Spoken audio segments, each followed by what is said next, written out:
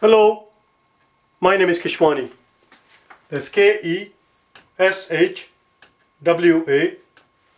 Keshwani. Today we'll learn the difference between the two words that are very often confused by many people, including the native speakers, let alone the non-native speakers. The words are affect and effect. Let's first take care of the pronunciation.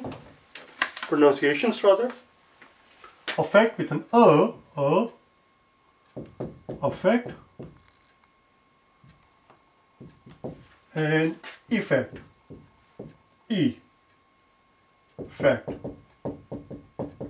The pronunciation of course was a simple part. The question is how do we keep them separate and how do we understand which word it belongs to what part of speech. Very simple.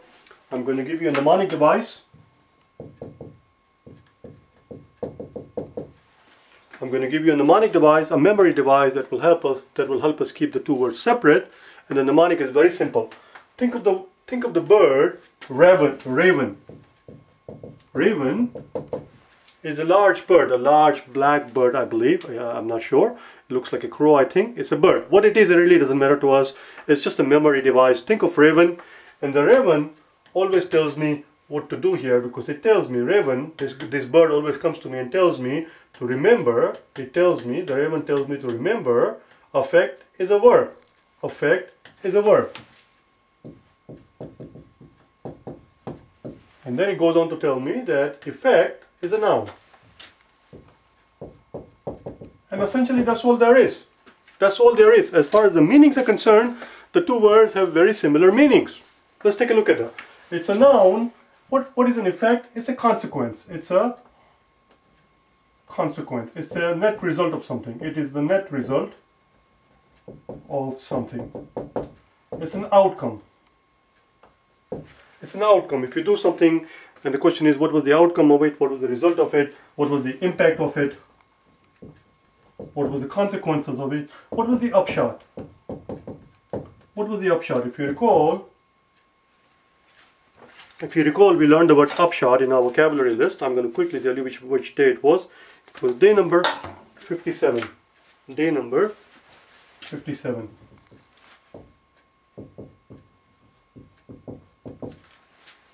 in our regular in our regular vocabulary videos in our regular vocabulary videos just type in vocabulary words day 57 and if it doesn't pop up type in my name or type in the name of any of the exams for example if you're preparing for GRE just type in GRE vocabulary words GRE vocabulary words day 57 the video will pop right up we learn on day number 57 upshot which means the final result the final outcome that's that's what that's what an effect is it's a noun this, on the other hand, is a verb, but it means essentially the same thing. It means to have influence. To, to, to have influence. It means, it means to change something, to change something. It means to have an impact, to have an impact on something. To have an impact on something. It can also it can also be used to mean to to to touch someone, to touch or to move someone or to move someone emotionally. For example, you might say, well, uh, I sympathize with, uh, with your situations. I heard your story.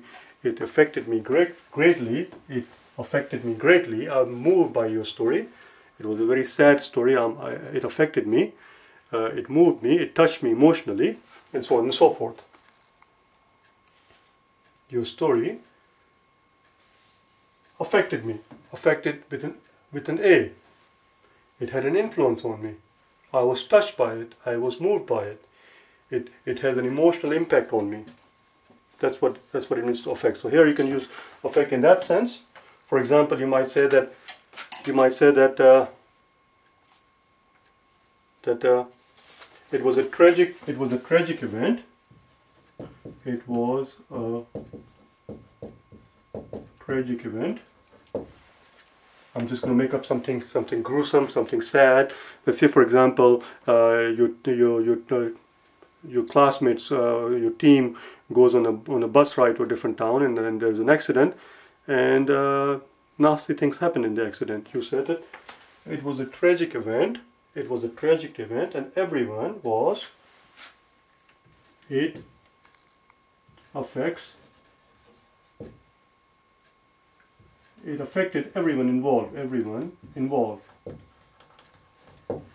It affected, not affected, it affected everyone. It affected everyone involved.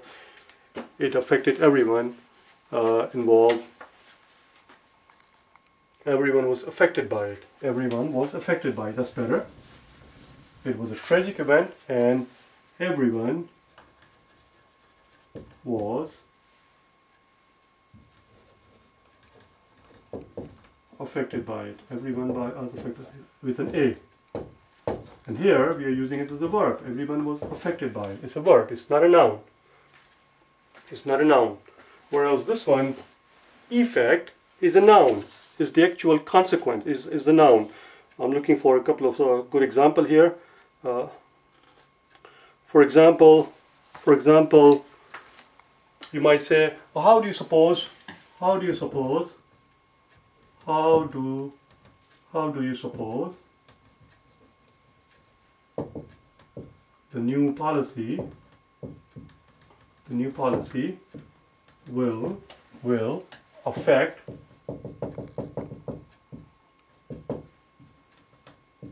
our budget? Two people are talking and saying how, how do you suppose the new policy will affect our budget? Here as you can see it's a verb. And the answer comes answer comes I have no idea I have no idea what the effects are going going to be. What the effects are going to be. I have no idea what the effects are going to be. As you can see these are not this is a noun. The question is the question was asked in a verb form. How do you suppose the new policy will affect verb our budget and the answer is I have no idea what I have no idea what the effects are going to be in other words, I do not know how it will affect our budget. Affect and effect. I have no idea what the effects are going to be. The one last thing I want to talk, because I don't want to keep on uh, to, to explaining simple things here. One last thing we do want to do, one last thing that, uh, that we, want, we do want to do is uh, introduce to you an idiom. Actually, a couple of idioms. I need room.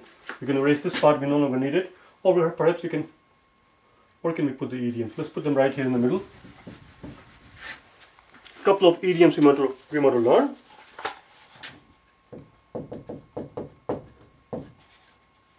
To take effect. To take effect with an E. What does it mean to take effect? To take effect means to come into force. It means to become operative. It, be, it means to become, to become valid. To become valid.